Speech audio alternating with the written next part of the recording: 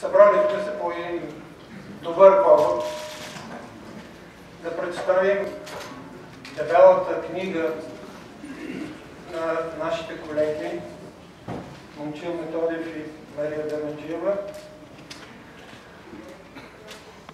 Но за този дебел том се крият много неща. Крие се един упорит труд в продължение на близо 5 години.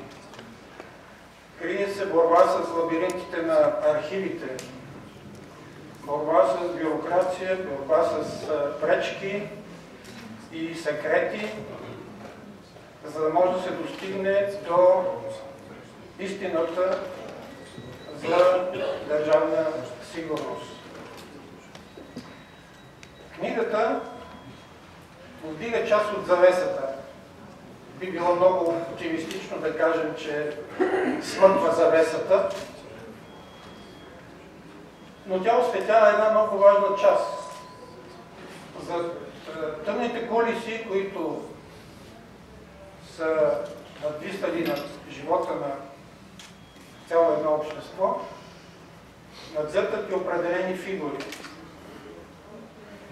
И тази част от картината, тази част от кулисите, поне в една много репрезентативна нейна част, е открехната. Тъй като тези кулиси не е ясно дали са се вдигнали, дали мрака, който спускат, се е разсеял. Но така или иначе, ние имаме едни конкретни лица. Тези лица трябва да се знаят. Трябва да се знаят на кого обществото дължи това, че не е било свободно, че е било потиснато и лишено от своите права.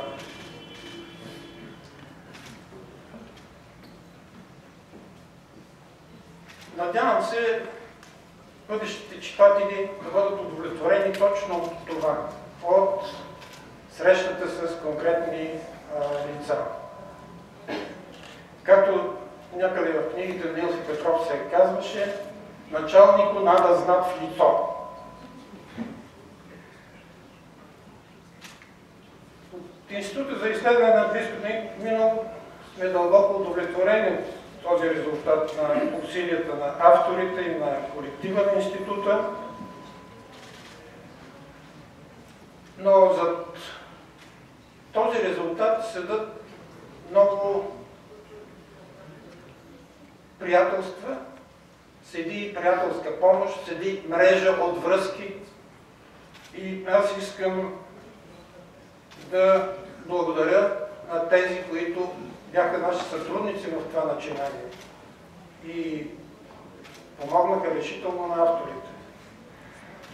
На първо време това е нашият спонсор в самото начало, доктор Георги Лазаров от далечния Балтимор.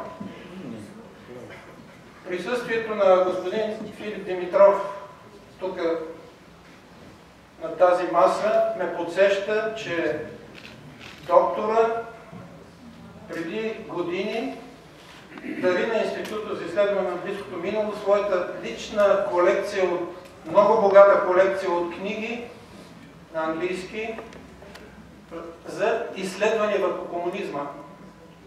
Между авторите са и от най-известните теоретици на тази тема. Господин Филип Димитров беше натоварил цялата тази библиотека в своят личен автомобил и я прекара през Атлантика. Благодаря още един път.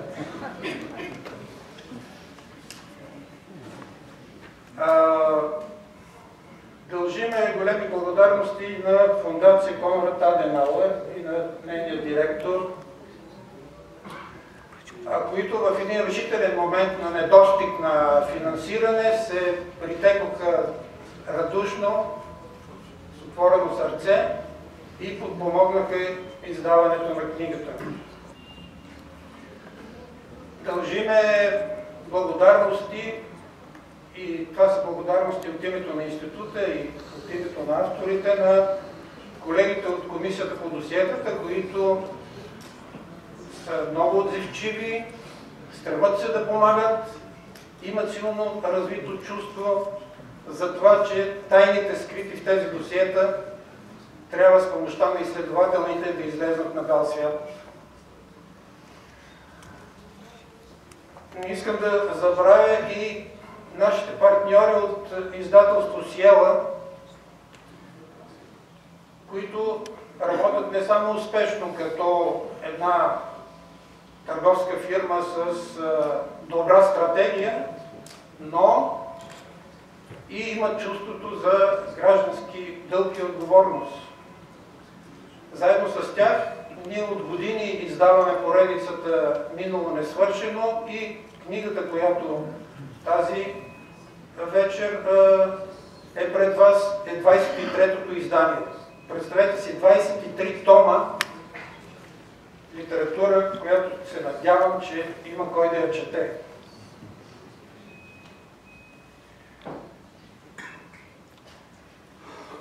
Не бих искал да отнемам повече време за хората, които имат какво да кажат за книгата. Затова искам да помоля господин президента да вземе думата и да